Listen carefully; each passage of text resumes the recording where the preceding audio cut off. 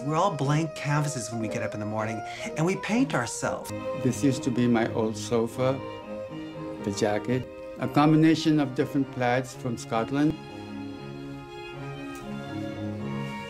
You know who she is? Oh, Tilda Swinton? Yes, Tilda Swinton. I call it awning stripes, a Scottish plaid outfit. I don't know which clan it belongs to. I have to be the dandy. This is uh, one of my other lollipop salesman's outfit. I'm still on my dandy cloud. And my pants was used to be my ottoman. I love this little bowler. I feel like Mr. Peanut in this little bowl. Everybody looks at me on the street when I wear this hat. Like that? It's very Mr. Peanut. You like this? And that's how I put on hats when I'm in public. I be a mirror, reflect what you are.